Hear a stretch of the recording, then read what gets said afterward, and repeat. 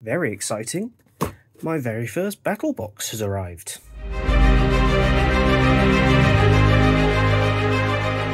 Let's uh, open this up, shall we? Some nice custom tape and stickers.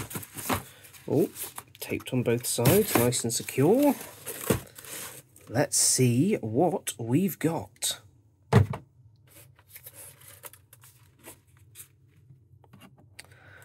Okay, so the box is looking pretty full. I like that. Let's get this packaging out of the way. What have we got? What have we got? So, some Warmachine Crucible Guard. I've not seen Warmachine miniatures in many, many years, but they look cool. They almost have a bit of a, uh, if we can see, um, Death Korps vibe to them, or um, what are the slightly more mechanized versions that almost have the deep undersea um, style helmets? I want to say like the uh, Solar Auxiliary or something like that. Um, but they look very cool. So some nice new miniatures to uh, paint later in the month.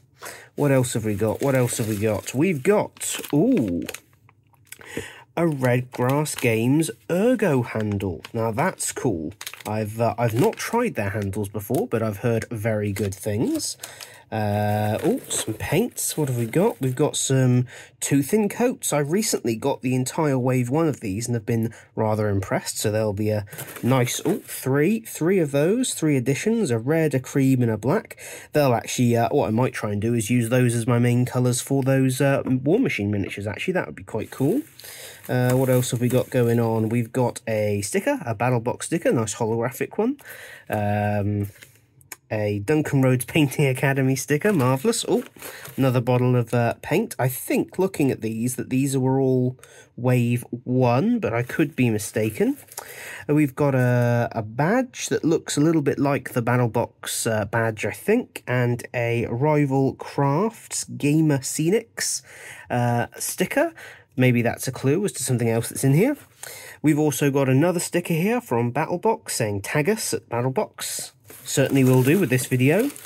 And then we have, oh, oh, we have a Hydro Pack for wet palette.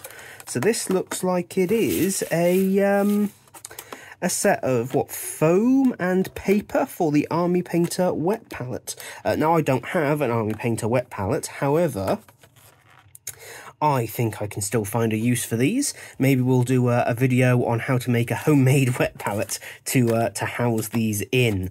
Um, and I think, oh, another sticker there. There we go. Uh, I think that's everything in the box. So, just to recap on this one, we have got four of the new Duncan Rhodes Wave 1 paints, uh, a Redgrass Games painting handle, some nice miniatures from Warmachine, very much looking forward to those, a little pile of stickers, can't go wrong with stickers, and an entire pack of uh, papers and sponge for an Army Painter wet palette. Overall, pretty nice little pack.